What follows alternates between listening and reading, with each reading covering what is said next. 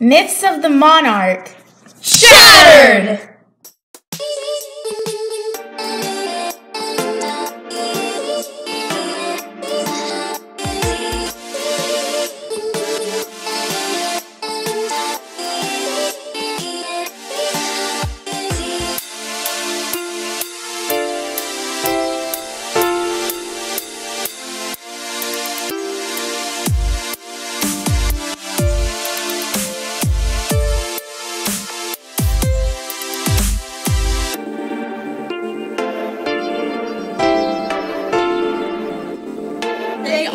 Only eat milkweed!